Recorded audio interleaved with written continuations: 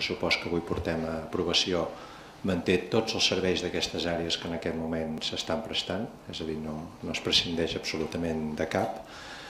Molt en general, totes les àrees pugen un 3% de mitjana, en bona part provocat per aquest increment dels, dels costos dels, dels sous dels treballadors eh, de la corporació doncs, que queden integrats en, en, els, en els propis organismes autònoms, però en alguns casos doncs, sí que hi ha algun augment significatiu que val la pena fer notar, com és en el cas de, de benestar social, que sí que hi ha un, un increment més important, que és del, del 8%, provocat sobretot per dos, dos temes, un d'ells és el, el Servei d'Intervenció Socioeducativa, el SIS, que se'n diu així amb, amb sigles habitualment, és el desplegament de tots els serveis que afecten a la infància i a les seves famílies, un treball previ que ja es va començar fa uns anys però que en aquests moments gràcies a que la Generalitat també ja, ja l'està desplegant i que ve a través del contracte programa, la qual cosa vol dir que una part la paga la Generalitat i una altra part doncs, important també la paga el, món local, doncs això fa que, bé, que complim amb la nostra part doncs, i ens incrementem en un 8% i un altre el desplegament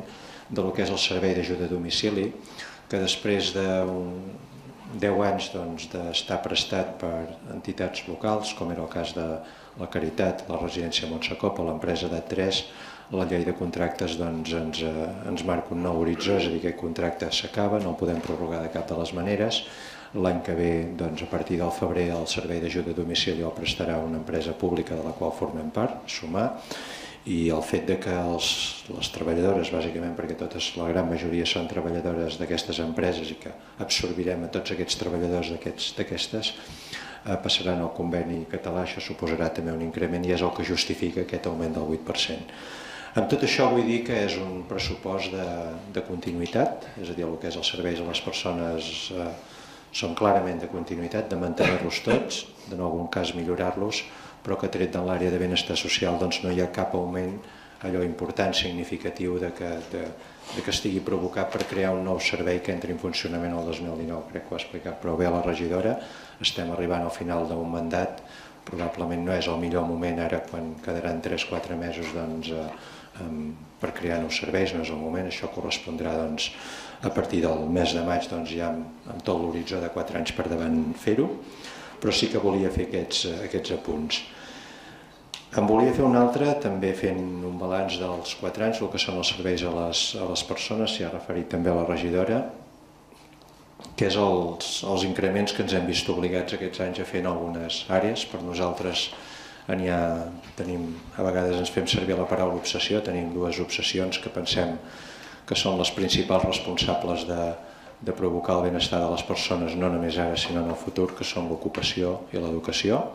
L'educació aquests 8 anys ha crescut un 91%, és a dir, l'aportació que vam aprovar en el nostre primer pressupost l'any 2012 aprovàvem una quantitat, en aquest moment la que aprovem per l'any que ve és un 91% més alta i en el cas de l'ocupació doncs, des del 2012 fins al pressupost que avui portem a aprovació per l'any que ve és d'un 132%. Han estat dos elements que per nosaltres han estat claus, que els hi hem donat moltíssima importància i que els hi continuarem donant en el, en el futur. No em dedicaré ara a parlar de tots els serveis perquè els avorriria moltíssim. És evident que esports, les instal·lacions esportives continuaran obrint, doncs amb les aportacions a les entitats es farà el Rebolot, es farà Lluèrnia, totes aquestes partides les trobaríem en el, es faran els clubs de lectura de la biblioteca, les visites als museus, continuarà la programació teatral, el servei de teleassistència, etc etc. Ens, ens hi allargaria moltíssim i crec que, que és millor doncs, que m'ofereixi si després volen que em refereixin a algun en concret com està doncs, poder-ho fer. Però sí que tornaré a fer una passada ni que sigui ràpida eh, per aquelles inversions, que això sí que són moments extraordinaris dels pressupostos, que els has de recollir en forma d'inversió i que afecten en aquestes àrees d'atenció a les persones, algunes s'hi ha referit la, la regidora, el, el que és millores a les escoles, és a dir, tenim unes escoles fantàstiques, però descobreixes que tenen a vegades petits elements de millora, petits elements de conservació, i a vegades són coses molt i molt petites, però que la partida que teníem probablement no arribava a poder atrapar-ho i aquest any doncs, més que dupliquem la quantitat de conservació i manteniment de, de les escoles, incloent el continuar eh, fent obres l'estiu que ve a l'escola d'art. L'escola d'art en aquest moment doncs, ja ha acabat una part molt important de les seves obres, però queda una segona fase, tancaments, eh, terres, canviar tot el sistema de calefacció d'aire condicionat, tot això s'haurà de fer l'estiu que ve i això queda recollit en aquest, en aquest pressupost. El que és una partida que ja s'ha destacat, executar el projecte, estava en el nostre pla de govern, el projecte de la piscina municipal coberta, aquest és un equipament molt demanat per la ciutat, demanat per moltes persones i no corresponia perquè no formava part del nostre pla de govern i no ens havíem compromès a executar aquest projecte, perdó, executar-lo, però sí que ens havíem eh, compromès a fer el projecte i dotem, per tant, amb la partida necessària per fer-ho.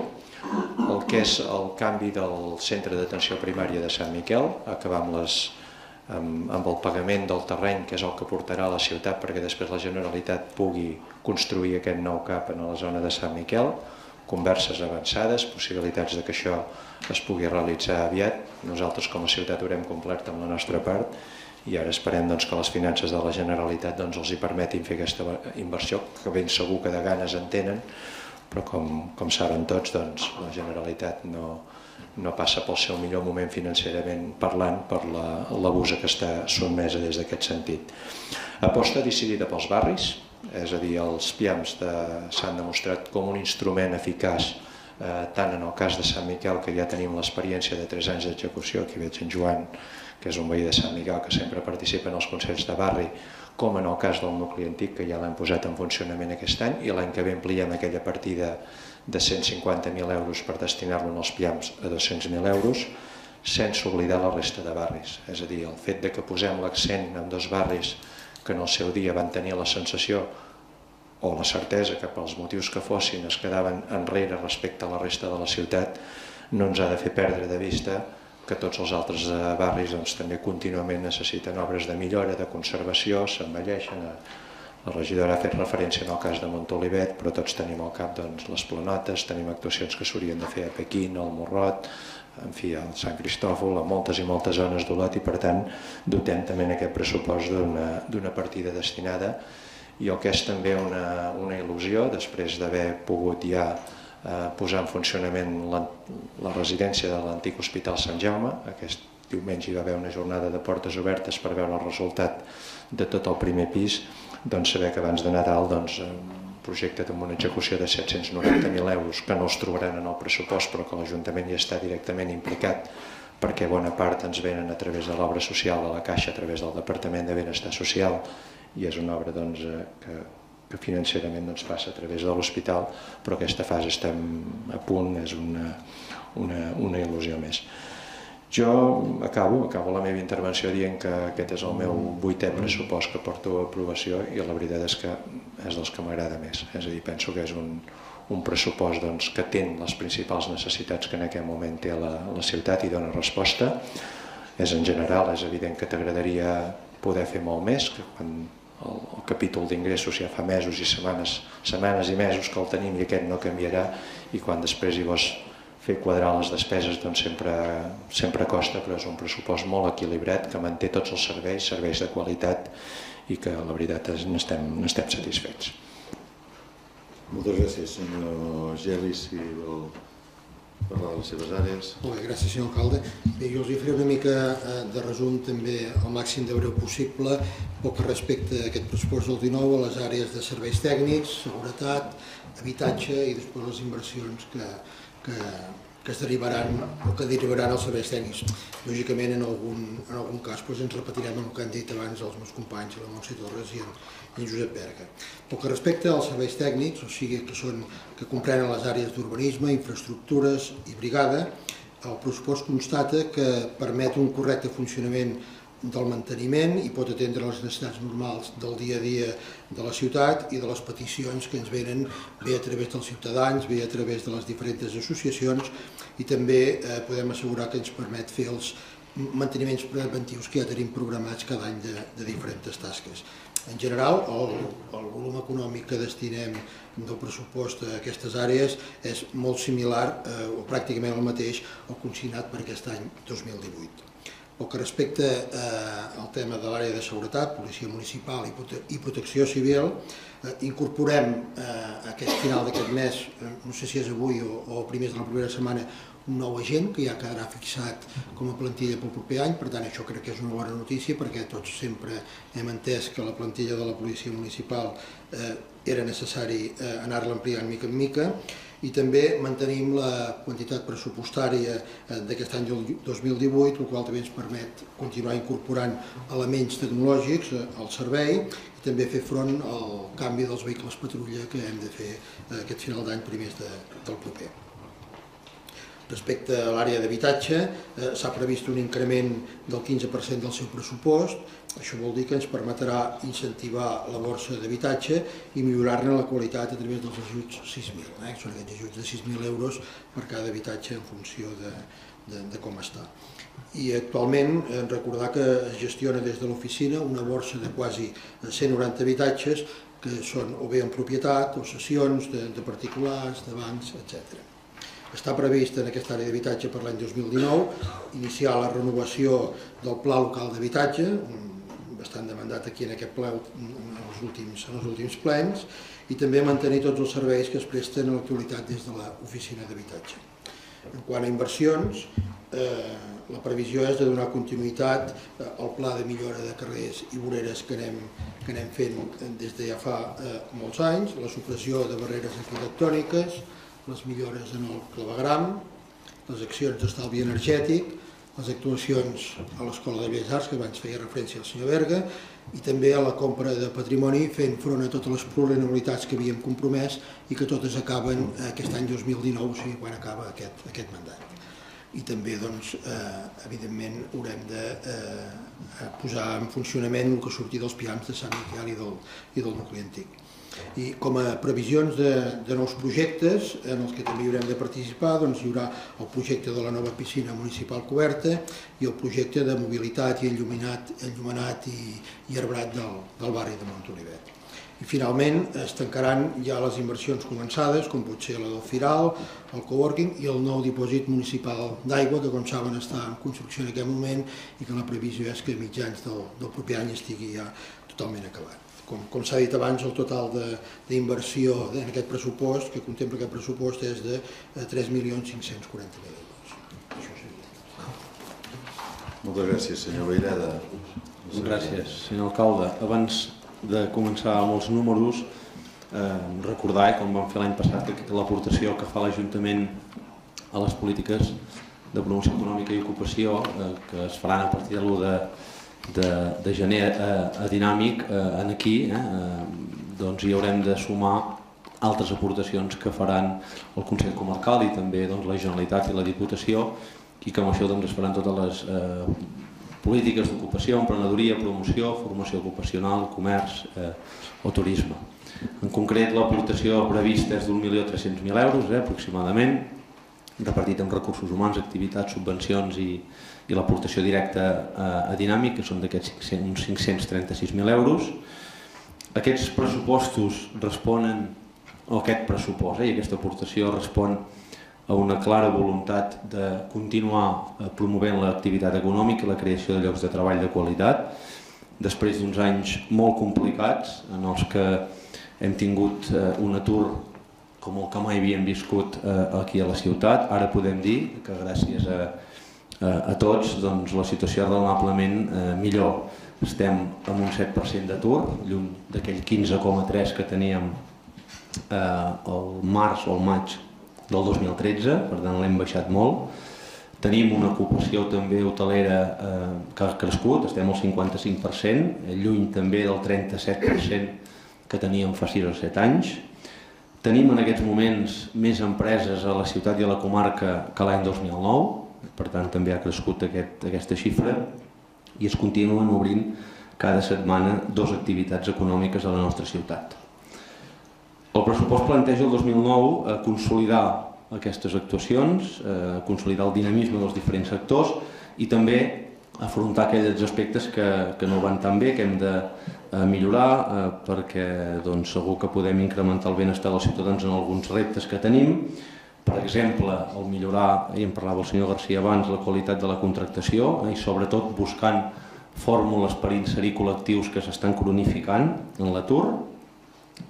eh, incrementar, que ja ho hem fet força, però hem de continuar fent, la desestacionalització de, dels visitants, eh, aconseguir que continuïn eh, venint visitants però més repartits durant l'any, treballar per l'atracció de talent de la ciutat, una demanda que ens fan eh, habitualment moltes empreses de la ciutat, millorar la formació de molts treballadors, eh, que això ho hem de fer conjuntament amb les empreses i tots els centres de formació, i acompanyar el sector comercial també en uns moments molt complicats i de moltes transformacions. Pel que fa a les àrees, a l'àrea d'ocupació mantindrem tots els programes de recerca de feina i d'atenció a les persones. Eh? S'està fent molt bona feina a les mates i l'hem de mantenir si podem millorar. Continuarem també amb el Social Lab, eh? aquesta plataforma que ens permet identificar i abordar reptes complexos de ciutat i els fem de forma transversal. D'aquí saben que va néixer l'Europeis i també s'estan treballant altres projectes com eh, eh, resoldre o abordar la problemàtica d'alguns joves eh, que tenen dificultats d'integrar-se eh, en el sistema educatiu. L'àrea d'ocupació eh, disposarà de més recursos i més, eh, i més programes durant aquest any, sobretot persones de més de 45 anys, col·lectius, com deia, que s'estan cronificant. Eh? En global són 1.200.000 euros els que destinem a ocupació, ho deia abans en Pep Berga, això és un 132% més que fa eh, uns anys. Eh? L'any 2012 destinàvem 524.000 euros, aquest any eh, 1.200.000 euros, per tant el salt és espectacular. Pel que fa a empresa i emprenedoria, mantindrem també els programes d'emprenedors, mm, molt especialment en tot el que és el sector agroalimentari, el plàstic i el tèxtil. Farem un esforç important per potenciar l'emprenedoria amb nous serveis. Eh? També serà l'any, eh? també s'ha dit, de posar en funcionament l'espai de coworking a Canyera. De fet, en les inversions ja hi ha una partida per acabar-lo i esperem a principi d'any que 16 joves o no joves emprenedors puguin utilitzar aquest espai al nucli antic. Continuarem treballant amb el sector comercial, amb el mercat, eh, com un dels motors eh, comercials del centre, i en aquest punt dues novetats. Una, eh, preveiem l'estudi de comerços emblemàtics a partir de la moció que vam aprovar d'Esquerra Republicana de Catalunya i també eh, farem un estudi d'hàbits de consum dels olotins que ens ajudi a dissenyar i redissenyar eh, accions i projectes en l'àmbit del comerç. Pel que fa a temes de promoció, mantindrem eh, totes les campanyes i els esdeveniments, eh, l'Olot per dos, l'embotit, eh, 1 de maig, activitats d'estiu, Fira Origen, Fira del Pessebre, anirem també a consolidar el Festival Veus, ens sembla que la ciutat agraeix que durant els caps de setmana hi hagi activitat i sobretot que això ens ajuda molt a generar també activitat eh, econòmica en el sector turístic, comercial i, i de restauració. A nivell turístic continuarem treballant en turisme Garrotxa per promoure el territori, sobretot una oferta de qualitat i de, basada eh, en el turisme sostenible. Deia, continuarem desestacionalitzant els visitants, tenim encara reptes aquí, o per exemple incrementar el turisme internacional. I en quant a inversions, destacar doncs, el projecte de l'Espai Cràter, un projecte que volem que sigui transformador, eh, amb una clara vocació eh, divulgativa, cultural, educativa i turística, un projecte que eh, l'any que ve no preveu recursos propis de l'Ajuntament, eh, però que ens ha d'ajudar a traure més visitants, eh, més escoles, sobretot en moments eh, que no siguin diferents als caps de setmana. Deia abans també que tenim un altre repte important, que és tot el tema de la formació. Ho deia, ho diu, de fet, l'estudi que vam fer del mercat de treball, ens ho diuen moltes empreses, ens ho diu eh, molts centres de formació, hem de promoure la formació professional al llarg de la vida per aconseguir una població activa cada vegada més qualificada i en això dues accions concretes, una que s'implementarà ja a finals d'aquest any, al novembre, però que començarà a funcionar plenament al principi d'any, que és la posada en funcionament del pacte per promoure la formació professionalitzadora i ocupació, un pacte que hi haurà administració, centres de formació, empreses, sindicats i que ja estan en dansa eh, i em sembla que és el proper 19 de novembre doncs posarem en marxa i la segona línia en temes de formació una major aportació a la FES, eh, una aportació que creix al 60% per consolidar tot el que és la seva estructura i que sigui realment el principal actor de la formació del territori. Per tant, com veuen, molts projectes, alguns de continuïtat, altres que seran nous, però com deia, amb l'objectiu de mantenir el dinamisme econòmic de la ciutat, crear oportunitats i, en definitiva, millorar el benestar de tots els ciutadans. Molt bé, moltes gràcies. Crec que ha estat una bona exposició del que jo qualifico com un molt bon pressupost eh, i amb el que aspirem doncs, a aconseguir doncs, el seu suport per les virtuts no, de que eh, han estat intentant destacar els meus companys. Eh, senyor Garcia, ara sí, ara li dono la paraula. Endavant. Gràcies. Mm, és una evidència, perquè així ho hem vingut manifestant els darrers, de, els darrers anys respecte al pressupost, que les diferències que mantenim són grans. Aquests no són els nostres pressupostos en cas de que ens trobéssim eh, governant o amb una majoria com la majoria minoritària, en aquest cas que vostès tenen. Uh, la realitat que, que tenim és una mica la que he dibuixat abans amb unes pinzellades, que tot i que el baix nivell d'atur, si ens comparem amb Catalunya, té una duresa molt forta, és a dir, hi ha un atur cronificat, com reconeixia el senyor Stanis, que afecta a uns col·lectius molt determinats. Tenim una precarietat laboral que va increixent i que no para, això provoca una gran desigualtat social, tenim, com hem dit abans, problemes d'habitatge, temes de mobilitat que contínuament anem reivindicant que tenim un gran pla de mobilitat però les inversions que es fan són, són curtes, són petites.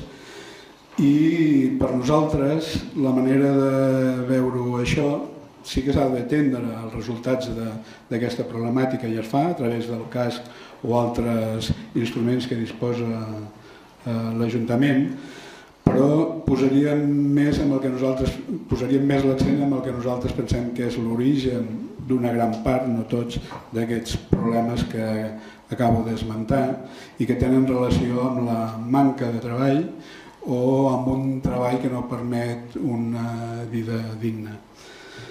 Eh, L'Ajuntament sempre li ha reconegut que fa coses, però per nosaltres almenys caldria incrementar i força els recursos eh, amb aquest apartat. Posaré un exemple, eh? sí que tenen molt clar de l'Ajuntament de recórrer a Europa per projectes com pot ser el cràter o d'altres, que permet un bon finançament per projectes, en canvi, que jo recordi, eh, i poder, si m'equivoco, ho corregeixin i ho assumiré, però almenys en els darrers anys no recordo que hi hagi un gran projecte presentat a Europa que permet molts més recursos per actuar amb tots aquests col·lectius.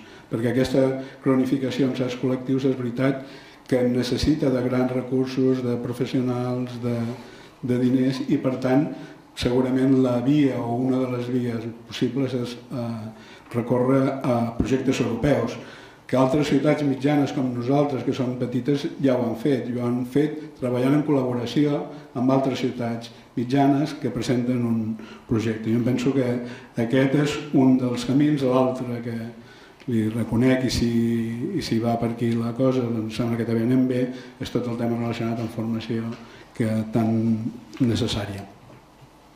Aquesta una mica és la realitat i que, com he dit, nosaltres dibuixaríem un altre eh, pressupost. No? Però mm, nosaltres ens agrada, si podem, eh, treballar amb la realitat. La realitat és que tenim un sol regidor i la realitat és que, malgrat haver-hi aquest Ajuntament una majoria de regidors d'Esquerra, fins ara ha estat governant PDeCAT amb el PSC, fins fa relativament molt poc, molt a pesar nostre, perquè aquesta realitat d'esquerra ens permetria avui estar nosaltres presentant el, el pressupostos i haver negociat eh, esmenes tant ordenances fiscals al pressupost amb el, amb el PDeCAT, però ai las, resulta que això va al revés. Però aquesta és la realitat i nosaltres amb un sol regidor ens podíem haver dedicat a criticar-ho tot, quedar bé, esperar temps, esperar temps millors. Però passa que nosaltres estem en política per millorar les condicions de vida de la gent i ens agrada ser útils. I això ho farem amb un regidor, amb dos, amb tres, fins als que 21 que pot tenir aquest Ajuntament.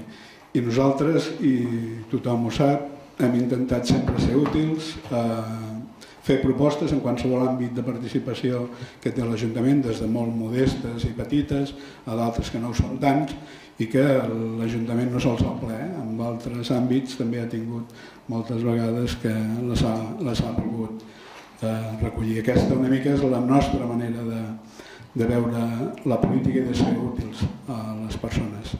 Una mica amb aquesta voluntat vam encarar i hem encarat sempre eh, la negociació tant de les ordenances com dels pressupostos i aquesta vegada doncs, es va plantejar la possibilitat aquesta de la piscina municipal coberta, aquests 75.000 euros per redactar el projecte, que, com tots vostès saben molt bé, és una reivindicació forta per part del nostre grup.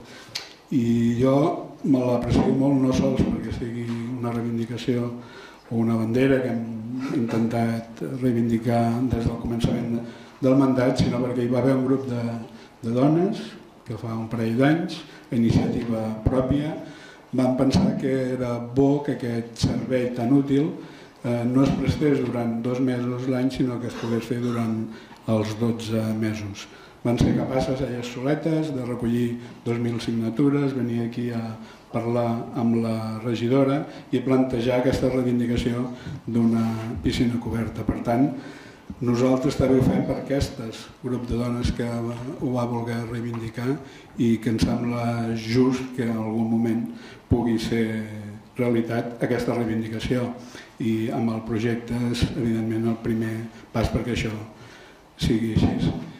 I ens sembla només, no sols per, per, per aquesta reivindicació i per aquest grup de dones, sinó perquè també ens sembla des d'un punt de vista d'eficàcia econòmica i social tota la inversió que hi ha allà en aquesta piscina eh, per obrir només dos mesos a l'any és ineficient econòmicament, perquè el desgast que tan sols produeix el pas del temps és brutal, per tant és caríssim eh, obrir només dos mesos l'any eh, aquesta instal·lació. I el mateix des d'un punt de vista social, no? tenir-lo només per, per dos mesos.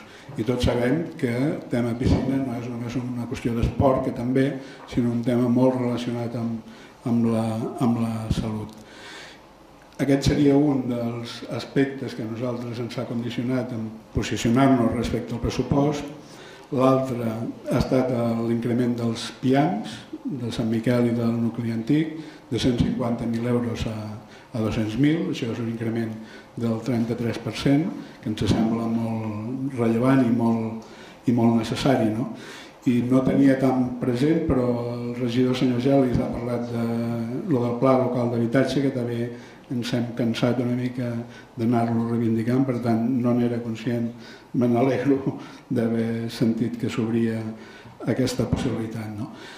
Nosaltres entenem que posicionar-nos en un sentit o en un altre amb, amb, amb els pressupostos, home, mm, és una mica difícil, ho vam estar discutint l'assemblea de companys i companyes d'ahir i he de dir que per unanimitat i bàsicament per les raons que acabo d'expressar hem decidit votar favorablement els pressupostos.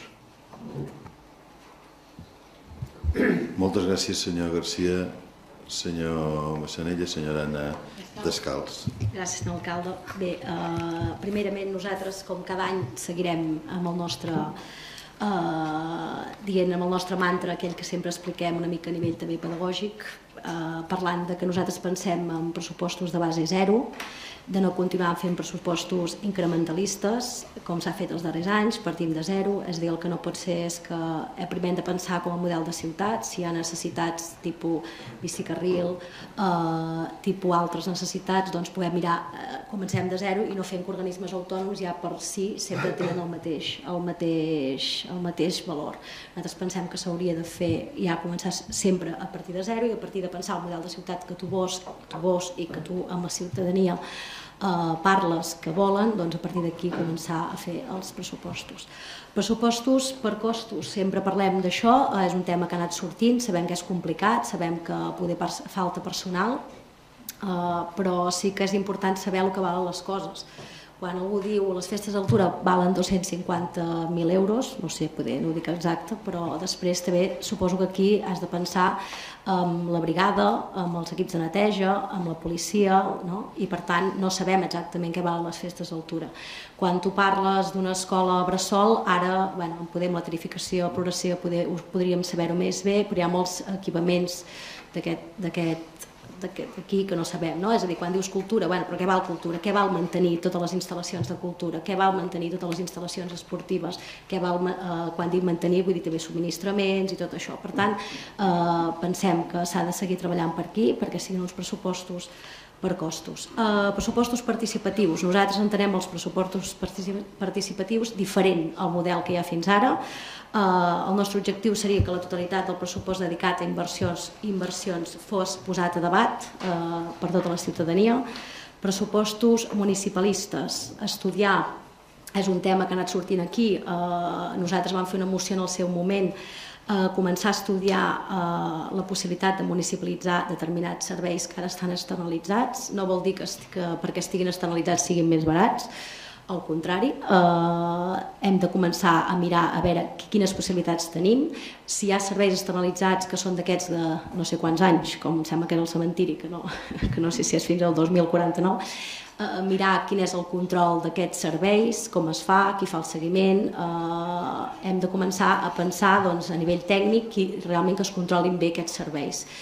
Uh, pressupostos en visió de futur, és a dir, no pensar només any a any, sinó pensant com a model d'uns quants anys, perquè no sempre hem de pensar que nosaltres serem aquí l'any que ve, no? i no pensar amb que venen les eleccions, amb que, no? sinó pensant ja quin model de ciutat volem, no? i una mica en visió de, de no any a any, sinó en visió d'aquí 10 anys. Uh, pressupostos transparents, uh, pensem que hem de continuar treballant perquè els pressupostos s'entenguin, perquè no els entenguem nosaltres, sinó que perquè els entengui tothom, perquè jo sempre, bé, quan veus això, no, ningú li motiva mirar això, no? i pensem que s'ha de poder fer d'alguna manera perquè la gent li pugui interessar. Bàsicament perquè els pressupostos al final són, uh, és allà on es veu la, la, és a dir, el que pensa aquell partit polític, allà on el partit polític o l'equip de govern decideix uh, què prioritza. I per tant es veu exactament eh, el seu programa electoral es veu allà. Per tant la ciutadania ha de poder entendre aquests números. I per tant ho hem d'intentar seguir treballant no? perquè sigui més fàcil. Bé, a partir d'aquí nosaltres ja saben que no són els nostres pressupostos ho hem dit ara, ho hem dit setmana, ai, la setmana passada i l'altra. Eh, el seu model de ciutat no és el nostre, el seu model de turisme no és el nostre, el seu model econòmic no és el nostre, el seu model de mobilitat no és el nostre, el seu model de transparència tampoc és el nostre. Per tant, no són els nostres pressupostos. Quan l'alcalde aquests dies ens parlava de responsabilitat a nosaltres i mitjançant els mitjans de comunicació, nosaltres li diem que, bueno, que la responsabilitat també és la seva, en el sentit de que portem quatre anys amb una majoria absoluta amb, amb els socialistes, que, bueno, que poder eh, ha mancat aquests espais de poder de, de negociar, de poder pactar, de poder... No? I ara, de cop i volta, com que no saben si se'ls aprovaran els pressupostos, ens venen a, a, a esbarats. No? Eh, bueno, per tant, la dinàmica que poder que s'ha fet fins ara no és la més adequada en el sentit aquest de poder parlar, és a dir, ens han explicat sempre els projectes, però eh, ja estaven mastegats aquests projectes, vull dir que, bueno, per tant, la dinàmica poder demostra que s'haurà de canviar i que estàvem acostumats a majories absolutes que, bueno, que després no, un fa i no té en compte l'oposició. Per tant, poder ens hauríem d'acostumar que les majories, encara que hi haguessin majories absolutes, acostumar que hi haguessin més aquests espais de, de parlar, de proposar, de... Bueno, no? Això. Uh, quan diuen responsabilitat, nosaltres, la nostra responsabilitat és venir a reunions, venir a totes les reunions, llegir tota la documentació i uh, aprendre, que n'hem après molt durant aquests quatre anys, aprendre, proposar, i això sí que és la nostra responsabilitat i pensem que és el que hem fet. Uh, la nostra responsabilitat també és que durant aquest mandat uh, ens hem oposat a molts projectes seus. Per tant, la nostra responsabilitat és ser coherent amb la votació i, per tant, el que no podem fer ara és canviar la nostra votació quan nosaltres tot l'any portem eh, dient que són projectes que nosaltres no faríem. Per tant, eh, en el 2019 tenen, hi ha molts projectes que ja tenen una situació finalista i per tant, per donar coherència al nostre discurs que hem anat fent tot l'any i la nostra posició, evidentment, votarem en contra. Eh? Ara faré una mica més de... Uh, durant aquest mandat sempre hem dit que no veiem clara l'obra del Firal. Nosaltres sempre dèiem que faríem una remodelació. Per tant, uh, aquest pressupost del 2019 s'acaba de pagar el Firal. Tema espai, espai cràter. És un projecte que nosaltres no faríem, són molts diners que venen d'una subvenció europea, però són diners públics. Uh, L'Ajuntament, a més a més, hi haurà de posar a partir del 2020, si no m'equivoco, 1.300.000 euros. Uh, a més, haurem de demanar un crèdit per primer poder pagar les factures perquè representa que, que un cop ho has pagat t'ho paguen. Per tant, eh, entenem que no podem seguir augmentant el deute o provocarem tensions en el pressupost municipal, però a més a més tensionarem, que per nosaltres també és molt important, encara més un altre l'espai del Montsecopa, un espai que és una zona integral, protegida i a més a més, i molt feble, que per tant s'ha de protegir i no tensionar més. I a més a més tensionarem més un barri que jo pensem que ja està prou tensionat. Nosaltres tampoc haguéssim fet la tribuna del camp de futbol. Aquesta tribuna que s'ha fet ara, que em sembla que és una, que s'ha fet en una primera fase i no sé, hi havia prevista fer una segona fase. No ho he vist en el pressupost, però no sé si està previst o no. Però nosaltres no l'haguéssim fet durant aquest any, no l'heu fet Bueno, I en el pressupost ja no hi és, però nosaltres tampoc haguéssim fet aquest primer. La primera fase no l'haguéssim fet i no la faríem, exacte, que quedi clar. TV Olot, estem pagant el lloguer d'una empresa privada perquè és un pacte que s'ha fet i estem pagant 24.000 euros a l'any amb una empresa privada. Uh, nosaltres això tampoc ho haguéssim fet. Uh, a més a més, comptant que TV Olot els hi donem uh, 111.000 euros. Per tant, que quedi clar que nosaltres no pagaríem el lloguer d'una empresa privada. El coworking és un projecte que nosaltres no l'haguéssim externalitzat. Uh, locals, tenim molts locals, paguem molts diners de, de lloguers, de locals, em sembla que puja 130.000 euros, però tenim un hospital tancat, que és municipal, i que encara no sabem què hi farem. Però és que, a més a més, és a dir, no sabem què hi farem, vol dir que encara no s'ha no no saltat tothom, o hem començat a fer un procés, és a dir, no sabem què hi farem i per tant pensem, comencem a treballar-ho menys. Faber és un projecte que nosaltres no el veiem clar. Són molts diners. Cada any hi destinem 85.000 euros. Són molts diners, 85.000 euros són molts diners. I nosaltres potser els destinaríem a altres, a altres ara mateix a altres prioritats. Per tant, és un altre projecte que nosaltres tampoc veiem clar. Escombraries. Ara pagarem 100.000 euros d'escombraries. L'any passat vam pagar 80.000. Uh, aquí és, eh, tornem a dir, la feina no s'ha fet prou bé, no s'ha fet ben feta. És a dir, estem pagant el que no s'ha fet fins ara. És a dir, hem de començar a aplicar un model que puguem reciclar d'origen, que sigui el porta a porta, per nosaltres seria el millor però sabem que hi ha altres models, també podem parlar-ne, diguéssim. Nosaltres seria el, el model porta a porta, però el que no pot ser és que encara ara, com a ciutat, no ens plantegem començar ja. Santa Pau l'any que ve ho faran. Nosaltres encara estem amb que l'any, aquest any, començarem a fer una prova pilot en un carrer. Això és a dir, no, no, no entenem que no s'hagi fet fins ara, però és que no entenem que l'any que ve no es comenci ja a, a, a començar a, a implementar, almenys amb, amb, no sé, una mica més en, en sèrio. TPO, paguem cada any 420.000 euros de TPO. Evidentment, és un servei que ha de ser-hi, és una concessió, és una concessió que, a més a més, està obligada a fer campanyes d'ús del transport públic. Jo no, no veig que, la, que fagin aquestes campanyes. Per tant, s'hauria de fer i això no es fa. Cal repensar aquest servei. És a dir, és un servei que val molts diners i que en veus els busos buits. Per tant, hem de començar a repensar si calen busos més petits, cal mirar altres, no sé, circuits circulats, no sé, però repensar el model, perquè no funciona i estem gastant molts diners amb això. Habitatge. Ha pujat un 15% a eh, la partida d'habitatge.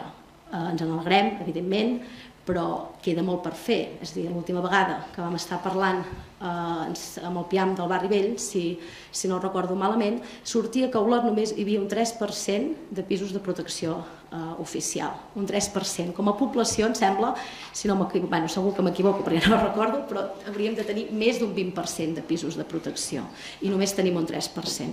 Escoles bressols públiques, tema de verificació progressiva i social. Esperem que aquest any es pugui implementar. Esperem que tots els partits hi estiguem d'acord. És una molt bona iniciativa. S'ha de fer, però no només a l'escola Bressol, s'ha de començar a fer a l'escola de música. L'escola de música és molt cara i no tothom hi pot accedir. Per tant, s'ha de començar a plantejar la tarificació progressiva també a l'escola de música. Tarificació progressiva bàsicament vol dir que qui té més paga més, per, per entendre, diguéssim. Per tant, també s'ha d'aplicar a l'escola de música. I això ens hi hem de posar tots els partits. Jo penso que aquí sí que cal que es pugui fer aquest any. Uh, tema subvencions, abans ja ho he dit, uh, les subvencions funcionen d'una manera en aquest Ajuntament que en principi tu presentes el projecte i tens dos períodes per presentar-ho, però després sempre s'entén que les entitats no són empreses, les entitats són gent voluntària que fa el que pot i que per tant a vegades eh, necessiten més diners. Però el que hauríem de fer és eh, intentar buscar una altra dinàmica, que la dinàmica no sigui anar a picar a la porta del regidor, sinó que la dinàmica sigui una altra. Ho dic perquè bàsicament no és gaire just, perquè vol dir que hi ha dues vies, no? la via la via regulada i la via del porta, de tocar la porta. Per tant, hauríem de mirar de buscar una altra manera que no fos aquesta. Després, nosaltres, si no s'aproven els pressupostos, que no sabem què passarà, però si no s'aproven els pressupostos, sàpiguen que amb tot el que sigui piscina, arreglar el barri de Montolivet, el tema de Belles Arts i els pians, i evidentment el cap de Sant Miquel, nosaltres ens hi trobaran. Vull dir que això es pot fer perquè són modificacions de crèdit i segurament que n'hi hauria més, però vull dir que en això sàpiguen que ens hi trobaran i evidentment hi votarem a favor amb tots aquests temes. En resum, aquests no són els nostres pressupostos, eh, ho saben, vostès ho saben, eh, nosaltres ho sabem i per tant votarem en contra. Gràcies. Molt bé, moltes gràcies, senyor Jaume Mir. Endavant té la paraula. Sí, gràcies, senyor alcalde. Bé, evidentment ens assumem amb la felicitació als serveis econòmics de l'Ajuntament per la bona feina que fan cada any sobretot, bueno, sé que el, la presentació de pressupostos no és el més atractiu del món, la portada sí que ha quedat, perdó, la portada ha quedat molt bona amb aquesta bitllet no? eh, de la ciutat. Eh, la part de dintre no, no acompanya tant, però sí que ajuda també l'informe que ens arriba, explicant una mica la situació del, del consistori, penso que és una bona feina perquè també els regidors i la ciutadania en general pugui entendre millor eh, tot aquest pila de números tan immensos. A veure, mm, bueno, en principi en, en el debat de les ordenances ja hem vist que els ingressos no, no augmentaran de manera considerable i sobretot si no augmentéssim el, la taxa de xalles, que continuem pensant eh, que no s'hauria d'augmentar. No, no diguem que la, que la recollida de deixalla hagi de ser deficitari, com deia el senyor Garcia, sinó que el que estem plantejant, el que creiem potser equivocadament, ens sembla que reordenant tot el sistema podríem ser capaços de no tenir una recollida deficitària. Eh? Simplement estem dient això. Eh, mantenir la pressió fiscal, i tant que sí.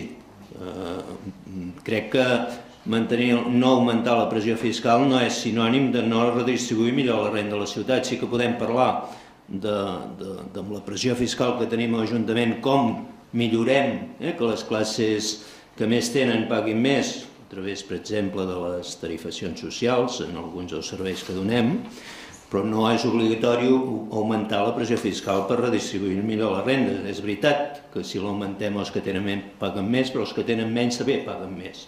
Per tant, en aquests moments crec que la ciutat d'Olot, que és una ciutat bàsicament eh, formada per famílies de classe mitjana, treballadora, amb un sou, sabem eh, que segurament un 10, un 5 un 10% inferior al que tenien 4 o 5 anys enrere, amb unes despeses eh, d'habitatge molt superiors a les que hi havia, doncs hi ha moltes famílies a la ciutat de classe mitjana que estan tinguent veritables dificultats per arribar a final de mes. I per tant crec que l'Ajuntament en aquest sentit hem de ser sensibles. Eh, per què tenim vergonya, eh, que deia la senyora de la CUP que no teníem vergonya, precisament perquè tenim vergonya eh, proposem que, que aquestes taxes no s'incrementin. Eh? Sembla que som l'únic grup que ho fem aquí, però bueno, en tot cas ens refermem en aquesta posició. Um, bé, uh, suposant que no podrem augmentar gaire els ingressos, mm, la nostra proposta és que hem de revisar a profunditat les despeses. Eh? En aquest pressupost, per exemple, eh, tenim unes despeses de personal que comencen a preocupar. Estem parlant de, de que l'Ajuntament aquest any pujarà les despeses de personal en 755.000 euros i entenem que aquí hi ha la puja de sous, evidentment, que, que s'ha de produir, però que això significa un 31,82% dels recursos de l'Ajuntament, un 1,42 superiors als de l'any passat. Eh, però, bueno, hem de tenir personal, hem de poder donar els serveis, però també hem de revisar aquestes partides eh, la manera que pugen i si això es pot eh, controlar d'alguna altra manera. En el consolidat de l'Ajuntament estem parlant de 900.000 euros, però prop d'un milió d'euros en temes de personal.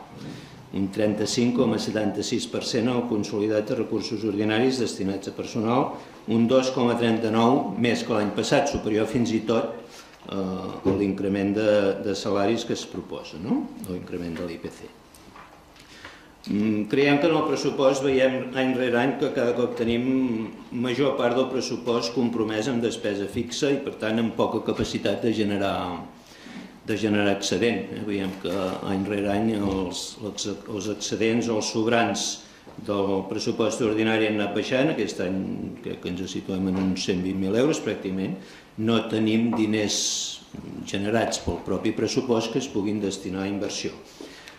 Per tant, crec que és important revisar, eh? des de la CUP n'han apuntat algunes partides, eh? el TV Olot és veritat, amb la subvenció de TV Olot eh, aixuguem el que cobrarem de més en la taxa de xalles, per exemple, i com aquesta jo crec que n'hi ha moltes que són revisables i que, que no, no, no crec que s'hagin de suprimir, però sí com a, com a, com a concepte doncs, donar-hi un parell de voltes més.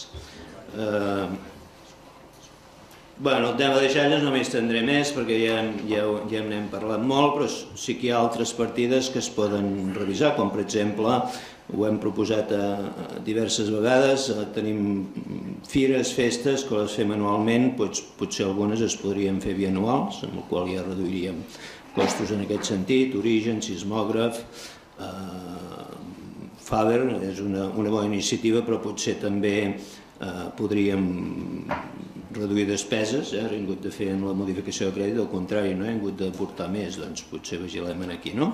El tema de subvencions és veritat, eh? em dóna la impressió de que les subvencions eh, anirem afegint però mai revisem eh, si totes aquelles que donem doncs, estan absolutament optimitzades. No poso un dubte que ho estiguin, eh, però mm, potser estaria bé donar-hi una revisió en tant en tant perquè bueno, cada vegada, cada any la partida de subvencions és més gran. Eh, en el nostre entendre hi hauria coses que no es prioritzen en aquest pressupost, simplement s'hi dona continuïtat però no, no es marca una línia de priorització clara. Per exemple, en temes de manteniment de via pública s'estan deteriorant, eh, tenim passos de vianants que no es veuen, eh, penso que aquí sí que és important i és, i és obligació, de fet, de l'Ajuntament doncs, de mantenir tots els espais públics en les idònies condicions. Hem parlat de carrils bicis, estem a anys llum del que ens agradaria tot, segurament, eh? però tampoc eh, hi hem posat un, un, hi hem fet un esforç addicional en aquest pressupost per, per anar-hi avançant. Eh? Manteniment d'edifici d'educació, com que és un tema que en tocada de prop no fa molt, les partides que tenim en manteniment d'edifici d'educació són absolutament insuficients. Eh, de pensar que, malauradament, sí que tenim alguna escola nova, però hi ha escoles a la ciutat que estan molt envellides i que les partides que tenim de 70 i 30.000 euros doncs difícilment arribem a, a, a donar resposta a les, a les demandes que tenim. Eh? Pensem que tenim demandes que potser ja, algunes ja fa més de 4 i 5 anys doncs, que les tenim en llista d'espera i que no les podem assumir eh, precisament doncs, perquè eh, aquestes partides no arriben. Pel que fa a inversions, eh, bé, ho he dit abans, les inversions, és clar que hem mm, posat un 3 milions i mig d'inversions, de les quals pràcticament la major part, més d'un 50 o 60%, les hem de finançar a través de préstec, perquè no som capaços, doncs, amb el pressupost ordinari de, de generar estalfi suficient, almenys per, per poder-ne finançar algun tros, no? Aquí tenim la subvenció, també alguna subvenció, no? en aquest cas hi havia una subvenció del FEDER important eh, per l'espai cràter, que és, que és una, una, una inversió que des del nostre partit doncs, ho veiem clara, perquè també la portàvem en el programa, per tant és una, una actuació que bueno, volíem bé que es pogués tirar endavant en aquest sentit. Eh, i una bona part d'aquests 3 milions i mig doncs sí, és per pagar el firal, és una inversió que, que s'ha fet però que, que l'hem d'acabar de pagar. Mm, nosaltres, en el partit d'inversions, tindríem altres prioritats. Eh? Ja ho portàvem al nostre programa, ja ho havíem posat també en el, en el pla de govern, algunes d'elles. Ens agradaria poder fer el projecte d'edifici als pavellons eh, per ja poder-lo encaminar i començar la construcció de cara al proper mandat. Eh, ens agradaria doncs, avançar en el tema de carrils bicis, eh, almenys que n'hi fins als centres educatius, perquè em sembla que és també una eina educativa pels nois i noies d'aquesta ciutat. Si tenen els carrils bicis que vagin en el seu centre i en els seus instituts, doncs, eh, de fomentar l'ús de la bicicleta. Ens agradaria avançar en les millores del riu Fluvià, entenem que sí que n'hi ha alguna ja proposada en l'àrea de Sant Miquel, però bueno, tenim un riu molt gran i, i, i molt per fer encara. Hem insistit també diverses vegades en la residència d'estudiants a l'antic hospital, inversions en ensenyament al cap de Sant Miquel i l'espai cràter també formaria part d'això. Això. Entenc que és una llista que, bé, eh, és allò, canviar cromos, no? Mm, una cosa per l'altra, cada, cadascú té les seves prioritats, ho entenem, aquestes serien les nostres. Bé, pel que he comentat, penso que es detecten diferències molt significatives entre la proposta de l'equip de govern i el que nosaltres pensem que hauria de ser aquest pressupost i per tant eh, en aquest moment en aquest, votarem en contra d'aquest pressupost tot i que eh, bé, la responsabilitat del nostre grup crec que l'hem demostrat sobradament en aquests anys eh? crec que és el primer, potser la segona vegada com a molt que podem en contra un pressupost de l'Ajuntament, hem format part de l'equip de govern precisament per donar estabilitat i en aquest moment no ens sentim còmodes amb aquest pressupost i per tant el votarem en contra. Molt bé, moltes gràcies, senyora Anna Bernades, endavant. Gràcies, senyor alcalde. Bé, nosaltres eh, començarem explicant que, com sempre, la voluntat d'Esquerra és que aquesta ciutat tingui els millors pressupostos possibles. I en aquest sentit, nosaltres, evidentment, tenim unes prioritats. Les nostres prioritats són l'habitatge, els barris i els serveis a les persones. Per aquest motiu sempre hem estat positius. La nostra relació amb els pressupostos de l'equip de govern ha estat una relació que pensem que és positiva perquè totes les vegades ens hem pogut abstenir eh, i recordo que en la primera, en la primera vegada d'aquest mandat fins i tot hi vam votar-hi a favor. I per tant, doncs, eh, malgrat tot això, eh, durant els anys que l'equip de govern estava en majoria absoluta amb els companys socialistes doncs, les nostres aportacions eh, eren rebutjades, evidentment amb explicacions oportunes, però eren rebutjades. Eh, nosaltres constatem que són els seus pressupostos, evidentment, són les seves propostes i eh, nosaltres, com els darrers anys, eh, voldríem poder-nos abstenir i fer confiança a l'acció de govern. Eh, pensem que eh, justament en aquests últims pressupostos vostès han inclòs un projecte, un projecte que no està consensuat, que no està consensuat amb els grups que, que aquí estan representats en aquest ple.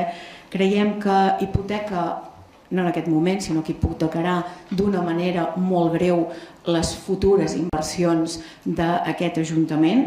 Eh, entenem que tensionarà la tresoreria eh, també en el futur mandat i per tant pensem que el plantejament d'aquest projecte a nosaltres no ens convenç, no ens convenç amb l'ubicació, no ens convenç amb el sistema que hi ha expositiu, no ens convenç eh, amb l'atenció de la mobilitat que hi haurà en el barri on es vol ubicar. I per tant, eh, per responsabilitat aquest no és el nostre projecte, és un projecte que eh, caurà en el mandat que ve.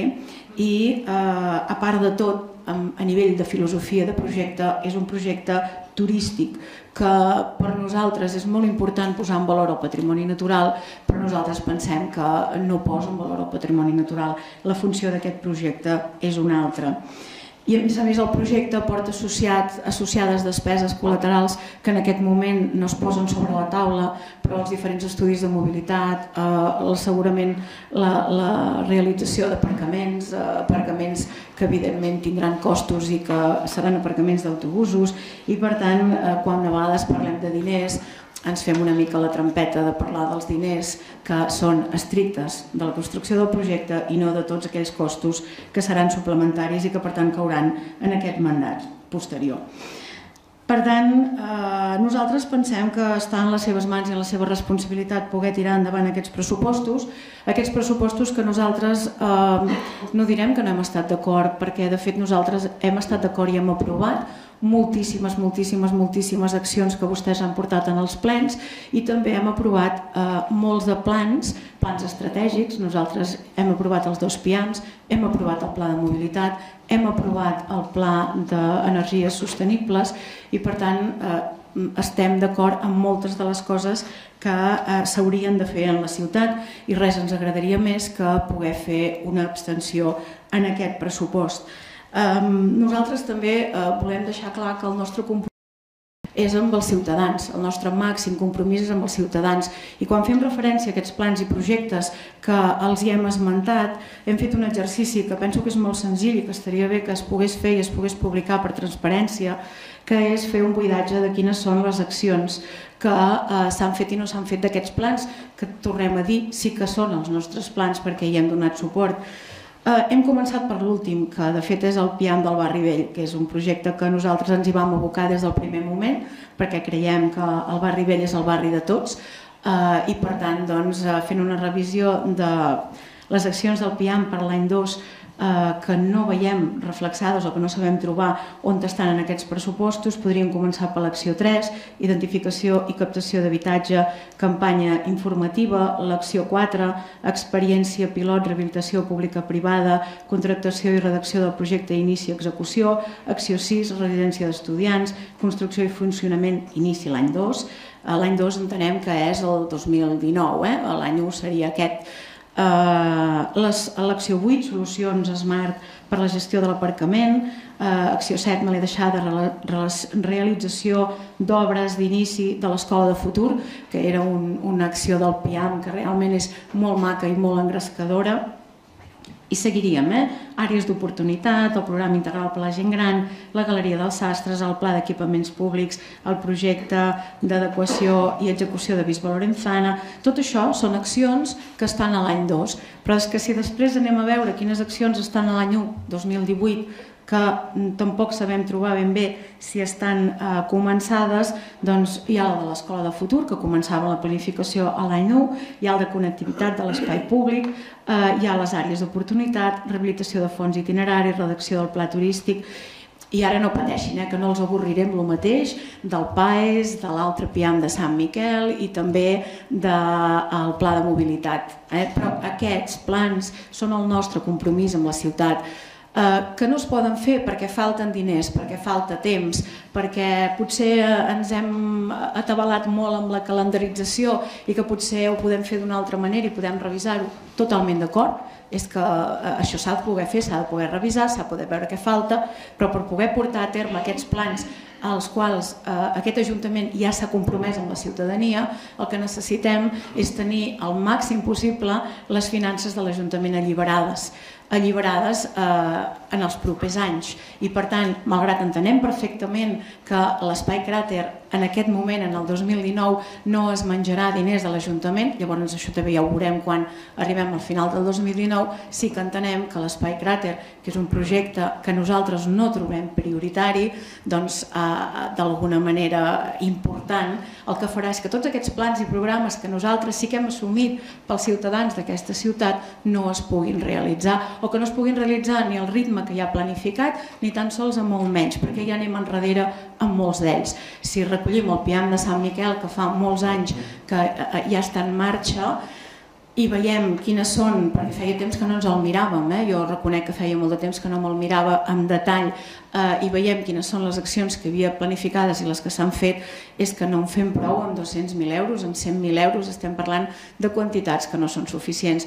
I per tant, com que la nostra, eh, el nostre compromís és amb els ciutadans d'Olot, el nostre compromís són amb els plans i programes que aquest equip de govern ha aprovat amb el nostre vot a favor, eh, el que nosaltres ens veiem obligats a fer, malgrat no ens agrada i voldríem poder aprovar aquests pressupostos, és votar-hi en contra. Moltes gràcies. Molt bé, moltes gràcies. Eh, govern, senyora, la senyora Montserrat Torres. I... Bé, moltes gràcies eh, a tots, primer per les seves aportacions, encara que no ens agrada tant el resultat, però bé, primer dir eh, a Olot en Comú contestar que els pressupostos per costos de tenir-los nosaltres Ai, perdó. Olot en Comú, sí, moltes gràcies per seva perdó. Anava de dret. Bé, doncs dir que els pressupostos per costos, nosaltres també és un repte que tenim aquí a l'Ajuntament. Podem dir que ja tenim creades les bases per poder-ho fer i anem tirant i anem tirant endavant, però és una feina que ja ens hi hem posat.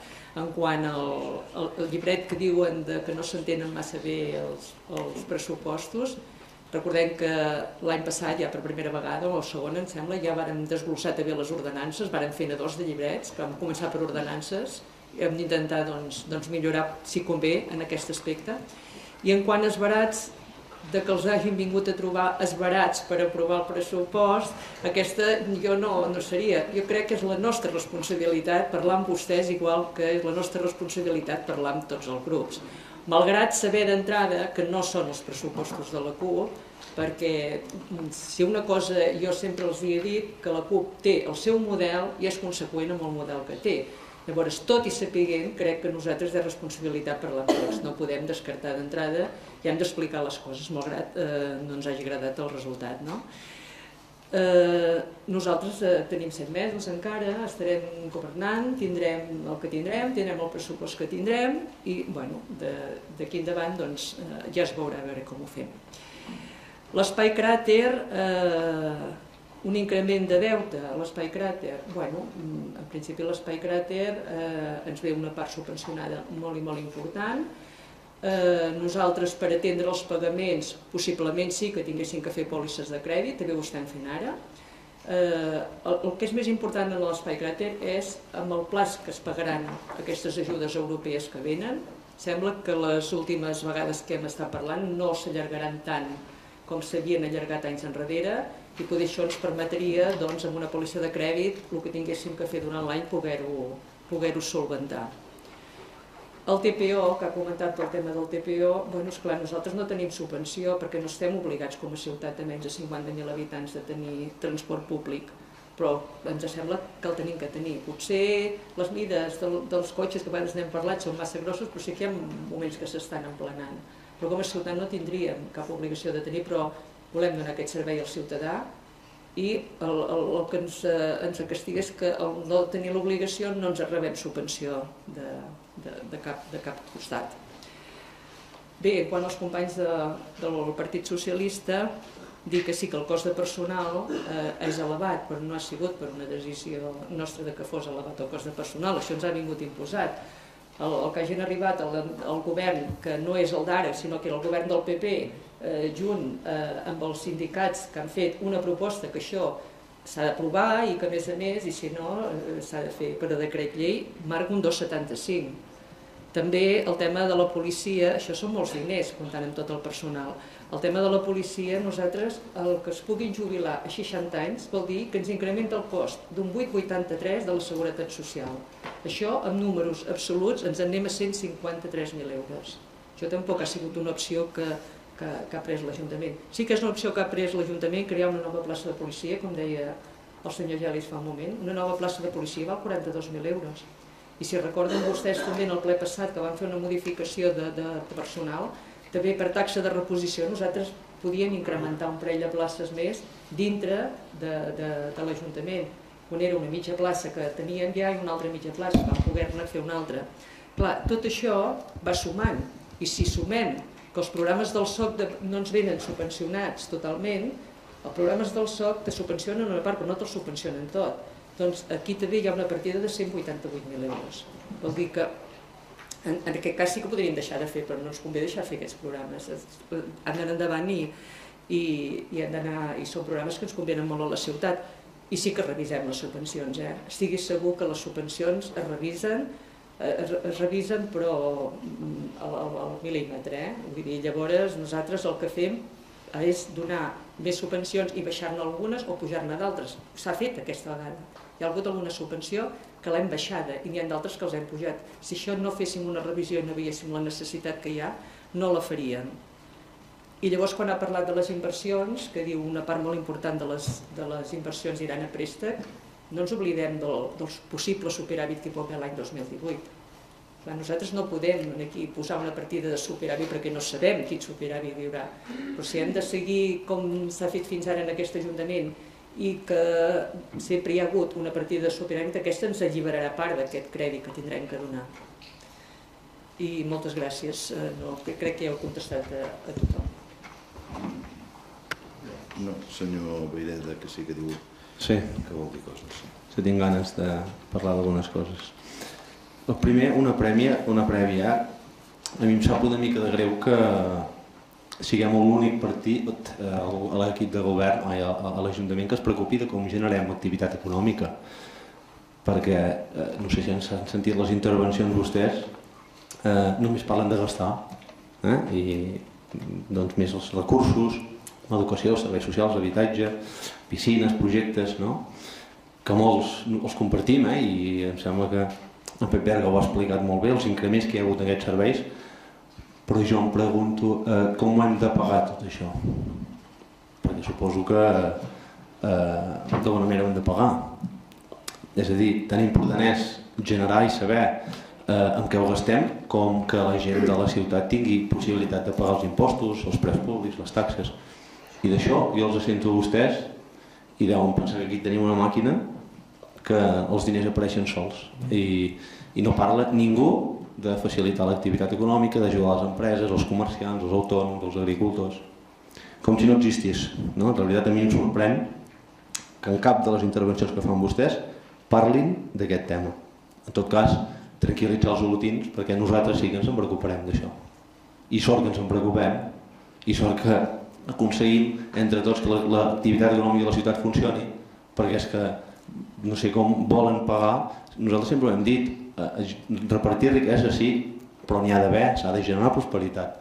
I jo la veritat, eh, em sorprèn que en cap intervenció vostès parlin mai d'aquests temes, en tot cas només parlen de gastar i gastar, que em sembla molt bé, eh, que molts projectes els compartim, però en d'altres eh, jo crec que també l'altra cara de la moneda doncs, que també seria important que en algun moment alguns dels vostres partits o els vostres partits fessin propostes també per veure com ho hem de resoldre, no? La CUP ens diu no li agrada el model, jo m'agradaria un dia sentir una proposta com la gent d'Olot s'ha de guanyar la vida, perquè no els agrada res del que fem, no? De, del model turístic, del comercial, de, de les empreses, parles de, gran, parleu de grans empreses, bueno, jo de veritat que m'agradaria sentir un dia, a part de, de dir amb què gastem els diners, eh, i, i la resta de partits també, com aconseguim que l'activitat econòmica de la ciutat funcioni.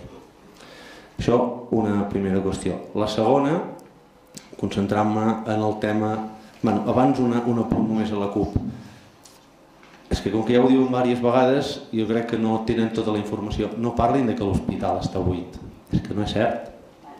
L'hospital d'Olot només té un 30% de l'espai desocupat. I això ja, els hi hem dit alguna vegada. No vagin dient, és que no sabem què en farem de l'hospital. És que hi ha un 70% ocupat, hi ha un 50% de residència de gent gran, hi ha un 7% d'energies renovables, hi ha un 10% de comercial i un 3% de l'oficina de turisme. Ens queda un 30% per decidir, per tant, no anem dient, no, és que no sabem què farem a l'hospital, no, queda un 30% que encara no ens hem posat d'acord, reservat per usos administratius. En relació a l'espai cràter, deia la senyora Bernàs, no és un projecte de futur, jo diria que és un projecte que, com a mínim, fa 15 anys, o deia vostè, és un projecte dels mandats que ve, alguna cosa així, no ha dit? Fa molts anys que es parla d'aquest projecte. L'any 2011 es va aprovar un pla d'equipaments culturals, aprovat per unanimitat, Esquerra, hi havia en aquells moments, eh, eh, em sembla, la, en Llorenç Plana Gomà, PSC, Convergència, aquí ja apareix un projecte com aquest el portaven al programa electoral nosaltres, Esquerra, PSC, ja fa anys. Eh? Jo encara he recuperat premsa no? i encara diu Esquerra fa públic l'any 2015 el seu programa electoral i destaquen dos projectes, Viver d'Empreses i un centre d'interpretació dels volcans. Això l'any 2015.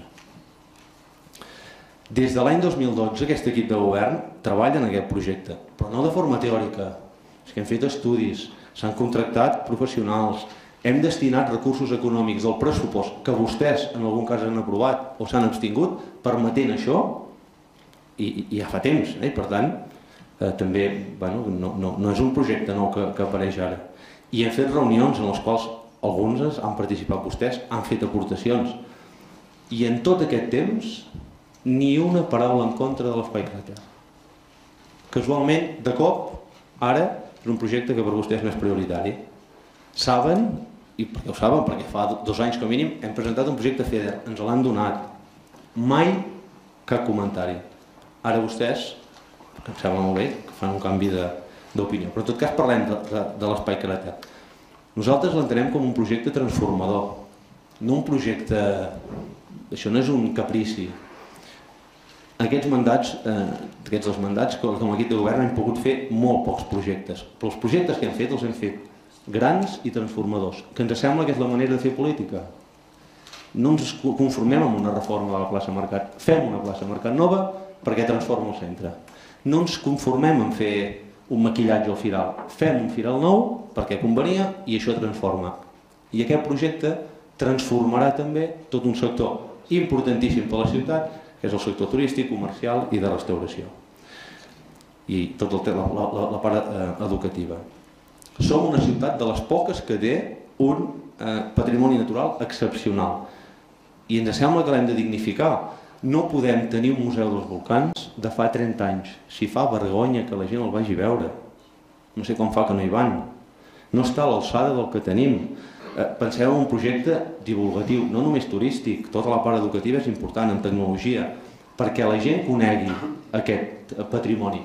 Només allò que es coneix es pot respectar, i això vostè segur que no, que està tan implicada en el tema del medi ambient, ho compartirà.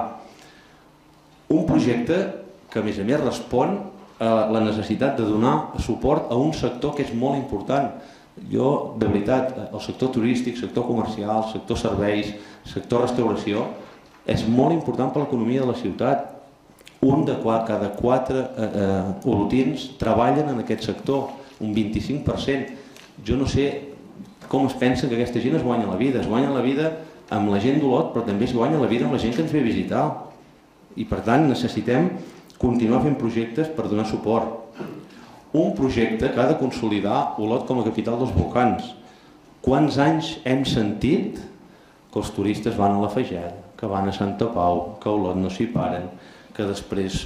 Escolti, aquest és un projecte que consolidarà la, la ciutat, que des d'aquí podem distribuir els eh, visitants arreu del parc i que farà que realment eh, sigui un projecte doncs, que, com dic, eh, que la ciutat d'Olot sigui eh, finalment eh, el centre de tota l'arribada de visitants i a partir d'aquí els repartim a totes les meravelles que tenim a tota la comarca. Un projecte que més ens recolza el parc i que el parc diu, escolta, ja, ho vam dir al principi de mandat, mirem de treure gent de les zones de, de la Fageda, del Cruscat, hem de fer més espais i ens plantegen projectes a la ciutat. Aquest projecte l'hem convertit amb especialistes del món del vulcanisme, amb empreses del sector turístic, amb operadors dels serveis educatius. L'hem explicat a consellers de tots els colors polítics, de diferents eh, legislatures. Eh, ens presentem al FEDER i és dels projectes que té una bona puntuació. Un projecte recolzat pels 17, 17 ajuntaments de la comarca, alguns del seu partit. La Cambra de Comerç, l'Agrupació de Cases de Colònies, l'Associació d'Allotjaments Rurals, els d'habitatges turístics, Auram, Hostalatge, turisme rural, comerciants, els únics que no el veuen clar, Esquerra i la CUP. És així, són els dos únics partits que no veuen clar el projecte.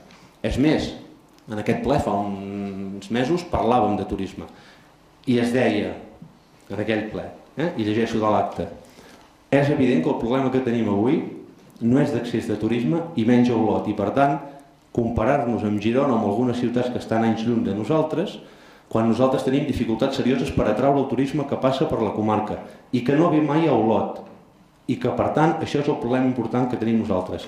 Crec que aquí hauríem de posar l'accent. Ens cal promocionar justament que els turistes que arriben a la comarca i més que ens podrien venir siguin un factor de riquesa per a tothom. Això ho deia el senyor Lluís Juncà. I, i, i jo firmo al 100%.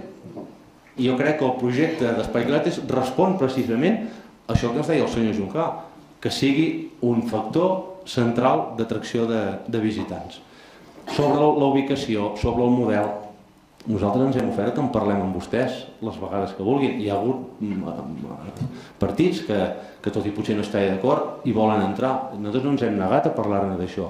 Però ha set, com dic, de cop des de fa uns mesos eh, doncs que vostès han dit que no hi estan d'acord. Rebrà un finançament molt important. És cert que hi haurem de posar recursos, com en molts altres projectes de l'Ajuntament, però rebrà un finançament eh, molt important. I ens sembla, repeteixo, un projecte, un projecte estratègic de transformació de la ciutat, del centre i d'uns sectors econòmics molt important. I per tant, de veritat que ens sap especialment greu que vostès com a, partit no? que es planteja governar doncs, eh, en un projecte tan important la discussió no fos discutir sobre el projecte, sobre, com deien vostès, si volen, la ubicació o el projecte en si i, i prenguin aquesta mm, postura d'estar-hi en contra després de dir, eh, de tots aquests anys en els que no hem sentit la seva opinió eh, en aquest eh, sentit. Sí. sí. Moltes gràcies. Alguna intervenció? Us hi passo la paraula per si volen. Endavant, senyor Garcia. Gràcies, senyor alcalde. Uh, amb la primera part d'aquesta intervenció darrere del senyor Estanis m'he sentit al·ludit una mica amb el sentit de que tots només pensem en gastar i no com ingressem i per tant, eh, com em sembla que era així, doncs eh, li donaré una resposta. Primer perquè aquesta afirmació que fa vostè és una mica un insult a la intel·ligència. Eh, partits com el nostre i de la nostra tradició, govern encara de les principals ciutats de Catalunya, ha estat governant, sobretot una mica enrere encara en més ciutats, i si alguna tradició tenim és precisament la municipalista. Eh? I per tant, eh, com ingressem els diners, en què els gastem, d'això en sabem com a mínim, com a mínim, tant com vostè. Una altra cosa és que discrepem doncs, aquests ingressos com s'han de produir o, en què els gastem. I en tot cas, eh, dos o tres petits exemples per també en concret a l'Ajuntament d'Olot del que estic dient. Una, hem proposat fa poc, i té a veure amb els ingressos, la figura d'un inspector perquè faci aquesta tasca i garanteixi ingressos que fa 4 anys que per inspecció, sobretot a les grans empreses, eh, m'estic referint, hi ha zero inspeccions i zero de euros d'ingressos. Uh, em sembla que era fa dos anys per al tema de l'impost que han de pagar les companyies elèctriques, van fer una proposta, va sortir una acció de, de l'equip de govern que va generar uns 50.000 euros entre els endarreriments, això vol dir que no els 50 perquè es pot tirar 4 anys enrere, però que es van consolidant aquests majors ingressos al llarg de, de, cada, de cada any. Vostès acaben de publicar, i que nosaltres hem, hem presentat al·legacions, unes subvencions per major estabilitat en l'ocupació, a les empreses que, que paguen a l'IAE, que són les que facturen més d'un milió d'euros, i les nostres al·legacions anaven, primer, perquè queden excloses les petites empreses, les que no diguéssim, facturen més d'un milió d'euros que vostè ha oblidat. Eh, els imports que dedica per estabilitat i dos ítems més són eh, 2.000 euros, 2.000 i 1.500, és a dir, 5.000 euros per cada un dels ítems que si amb algun dels ítems es presenta alguna empresa, si alguna es presentava 10 empreses, vol dir que tocaven a 200 euros per cap si tots tenien dret. S'haguessin gastat més en preparar tota la documentació que amb la subvenció que, que rebran. I aquest és un exemple i en podria repetir d'altres.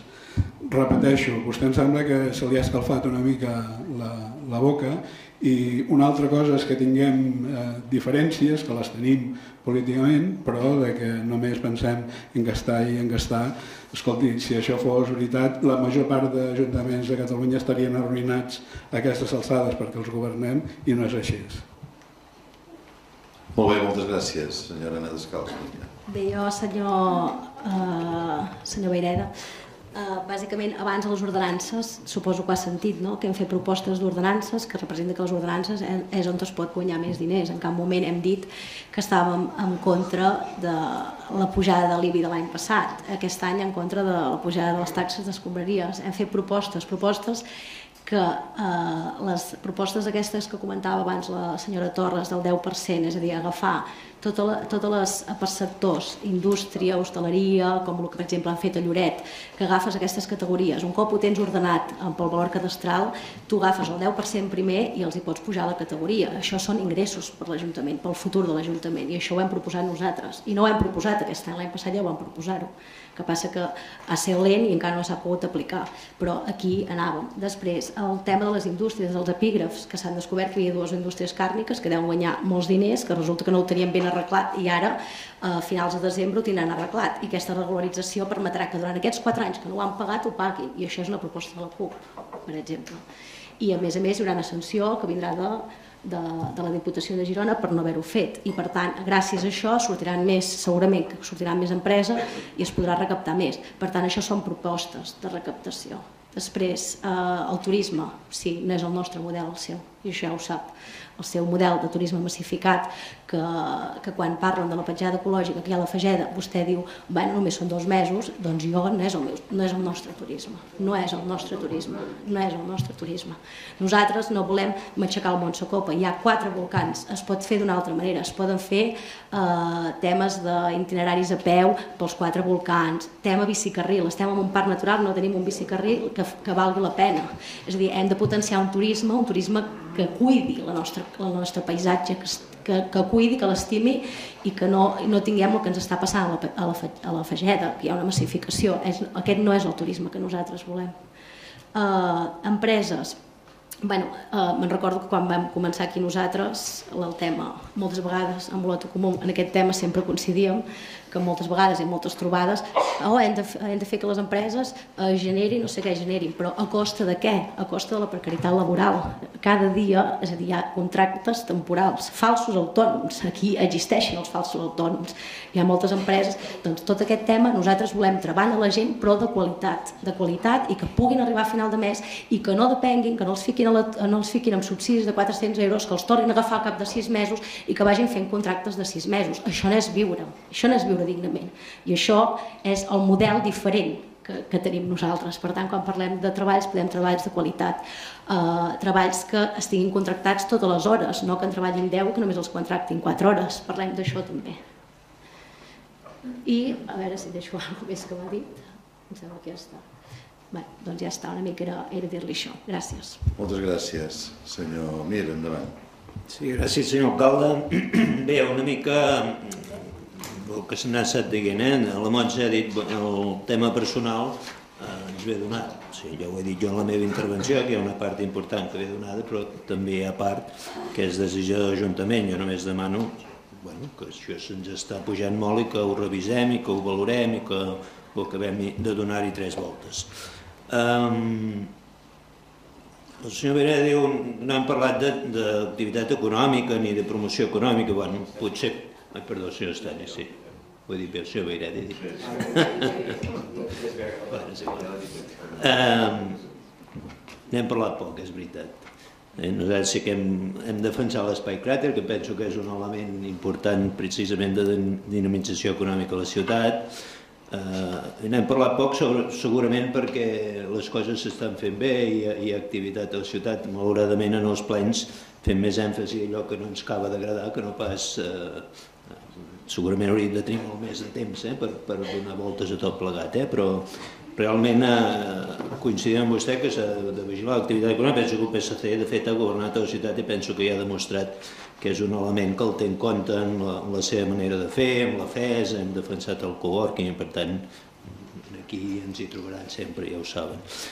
Um, bé, només acabar jo diria, sembla que els pressupostos no prosperen, però jo els encoratjo, que no, no ho deixem aquí. Això tenim temps fins al mes de gener, Eh, ja sabem que el vot en comú de vot a favor, sabem que la CUP eh, votarà en contra, fem el que fem, sabem que Esquerra Republicana, si tatxen l'espai cràter, els hi pujarà i nosaltres estem aquí. Eh? Vull dir, no ens tanquem en res, aquests pressupostos d'avui no els podem votar a favor, però hem fet una sèrie d'aportacions que ens sembla que obren la porta a seguir-ne parlant. Eh? Per tant, no, no ho tancaríem aquí, sinó que estem oberts per responsabilitat amb la ciutat i perquè aquesta inversió tan important i aquesta subvenció tan important que hauria d'arribar per, per l'espai cràter, doncs no, no la podem perdre, estem oberts a continuar parlant.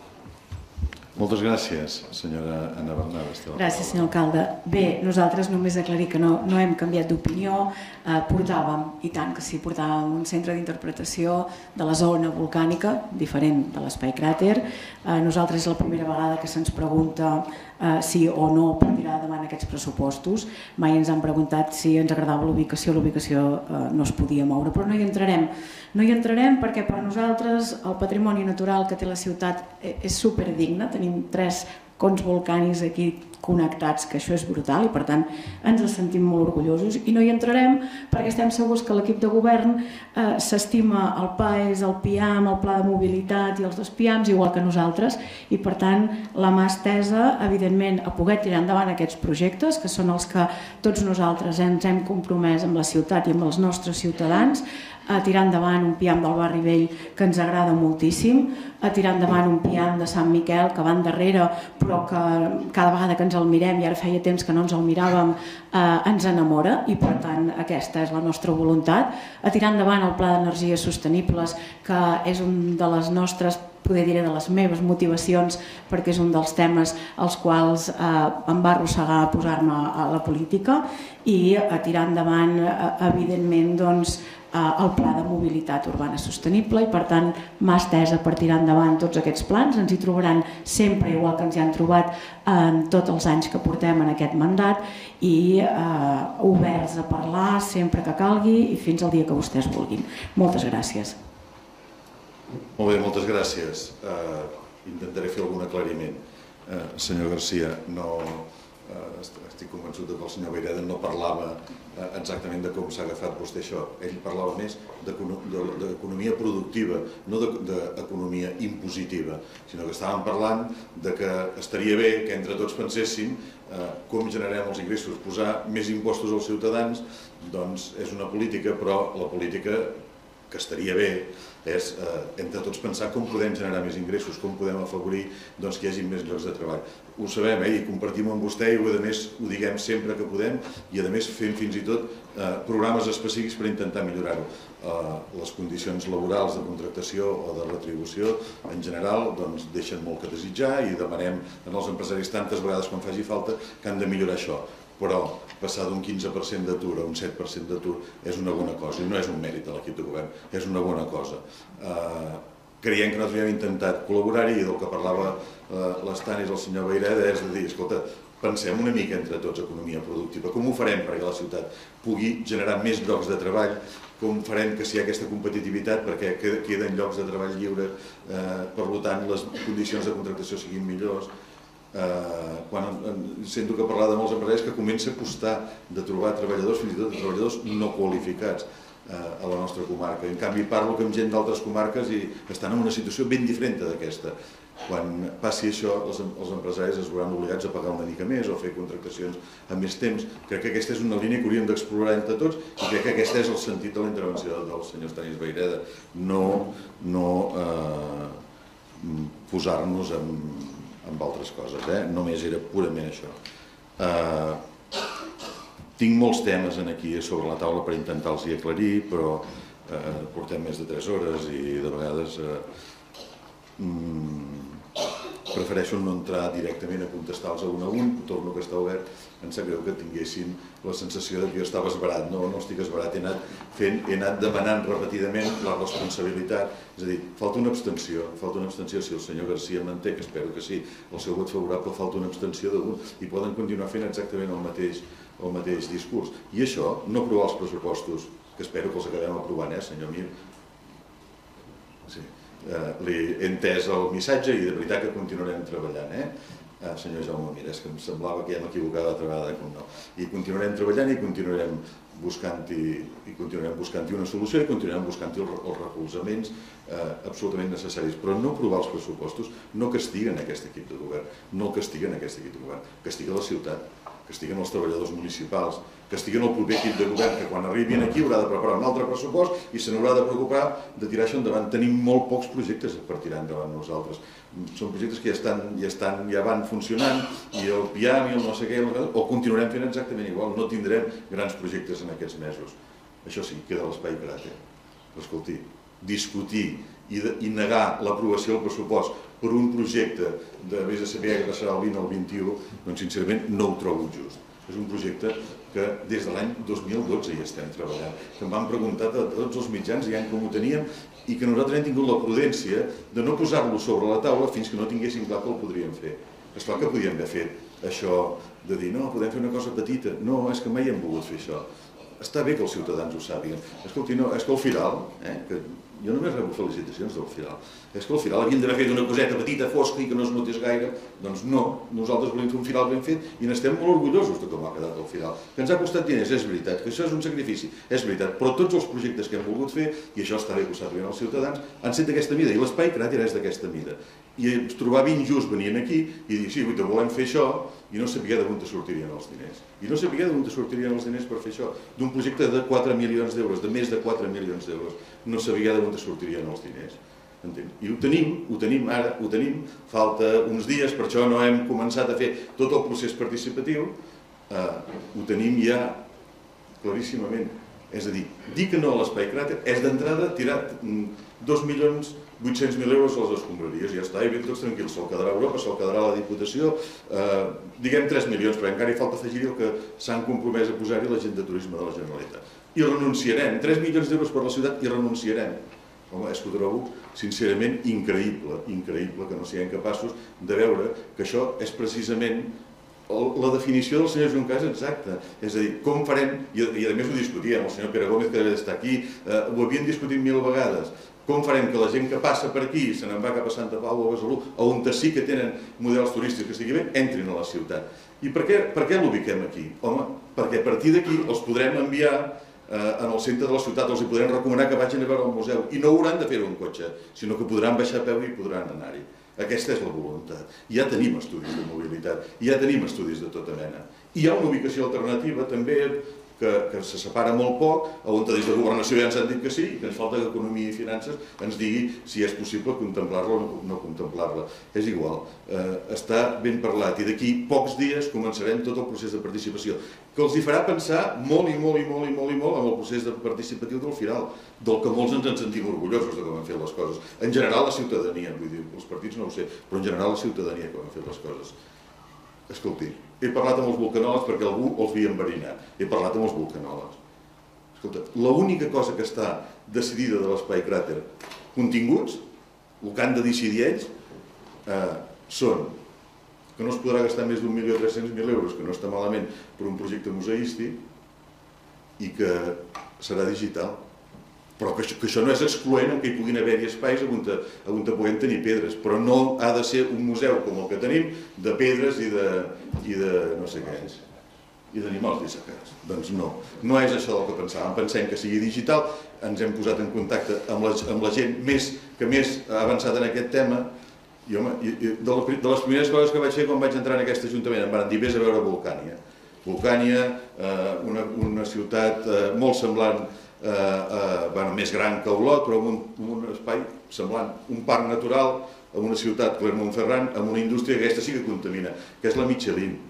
Bueno, doncs això és un model que hem anat perseguint, que hem anat treballant, Escolti, no, no volem hiperfreqüentar Sant Francesc, però està situat en un lloc on pensem que hi puguin haver-hi projectes per anar en bicicleta, projectes per anar cap a la Garrinada, i per això també hi hem anat treballant, projectes per anar cap a un altre cantó, perquè la gent pugi a Montolivet, si aconseguim dignificar-lo més, a peu, a peu. No busquem turisme, turisme massificat. Anem exactament en la direcció contrària, i ho hem dit sempre, turisme familiar, turisme eh, d'escoles, que vinguin gent de les escoles i que els hi sapiguem explicar d'una manera clara que és un volcà i com van les coses. I que això, que ni tan sols afecta aquests pressupostos, és la principal arma per castigar la ciutat, castigar l'Ajuntament amb no aprovar els pressupostos, doncs em desespera. Per això em va veure una mica excitat, si és veritat, em desespera. Sincerament penso que no hi ha dret. Penso que no hi ha dret, sincerament. Però bueno, continuarem treballant, continuarem fent i tenim un molt bon projecte sobre la taula, un molt bon projecte que es diu Espai Cràter, i tenim uns molt bons pressupostos, eh, especialment que potencien l'àrea social. No, no estem d'acord, senyor Guix, amb el tema aquest de que hem d'anar retallant eh, pressupost ordinari, i ja sap vostè que jo ho dic sempre, hauríem de mirar de... Però escolti, no, no. Ensenyament, hem doblat, hem doblat el que, el que hi havia quan vàrem arribar aquí, perquè hem hagut de substituir altres administracions. A benestar social i anem posant tot, amb molts problemes, eh? però, però quan venen la gent de qualsevol lloc a parlar de benestar social ens feliciten perquè som pioners i perquè estem implementant moltíssimes polítiques molt bones. Que en podríem fer més? I tant, però hi posem, hi posem també més diners. Eh, cultura. Hem sigut capaços d'arrencar dos festivals que són de referència. Vagi on vagi, vagi on vagi, la gent em felicita per Lluèrnia i per l'actitud que varen tenir l'any passat de no voler-la celebrar, però per la Lluèrnia que ha deixat un molt bon, un, una molt bona sensació i tornarem a emplenar el. I sap què passarà? Que tot això hi haurà molts bars, hi haurà moltes botigues, hi haurà molt comerç, hi haurà molt sector serveis, tots els hotels estaran plens i hi haurà molta gent que es guanyarà la vida. I al final, aquesta és la millor política social que podem fer, que la gent es guanya la vida, està al costat del comerç, està al costat... Eh, això és el que ha intentat explicar el senyor Vaireda, que és el nostre nord des del principi en el que sempre hem estat, en el que sempre hem estat eh, treballant. En fi, tindria molt més discurs per fer, podria explicar moltíssimes més coses, però crec que eh, amb el rato que ha passat eh, no convé. I senyora Bernades, ara em tinc de dirigir vostè ho posarem a votació immediatament i em tinc de dirigir a vostè i llegir-li l'acte que li he dit, que li, vaig, li he advertit repetidament, perquè això de que no ho hem explicat, li he advertit repetidament que llegiria. L'acte és del ple municipal del maig del 18, no vaig a buscar més enrere que tenim tot de documentació. Intervé la senyora Bernades i ho pot comprovar qui vulgui. Portaveu del grup municipal d'Esquerra Republicana. Bé, nosaltres saben que no és el nostre pressupost, que no, és, no, no els hem fet nosaltres aquests pressupostos. Però tal com ens varen comprometre quan vostès van trencar amb els seus socis de govern, nosaltres som fidels als pactes. I en els grans projectes de ciutat nosaltres varen dir que donaríem suport i per nosaltres una manera de donar suport és l'abstenció i així ho farem. Intervé el senyor alcalde, intervé l'alcalde. Els agraeixo doblement l'abstenció, perquè, però també per tornar a recordar aquest compromís que en algun moment jo personalment havia tingut algun dubte. Això per un cantó. Senyor Guix, eh, si plau, es mirin l'acord de govern que vam fer i fins a quin punt hem anat seguint hem anat seguint doncs, estrictament el, el pacte de govern.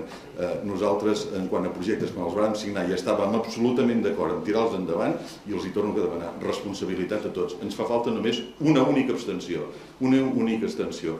Eh, I no castiguen a l'equip de govern, castiguen a la ciutat i castiguen a l'Ajuntament. Fetes aquestes reflexions, doncs ho posarem a votació i eh, continuarem treballant per l'or com hem fet sempre. No. Uh, no, no, prou. Ho posem a votació perquè ja n'hi ha prou. Vinga, vots a favor d'aquest pressupost? Vots en contra? Abstencions? Doncs queda rebutjat el pressupost i passem a un altre punt.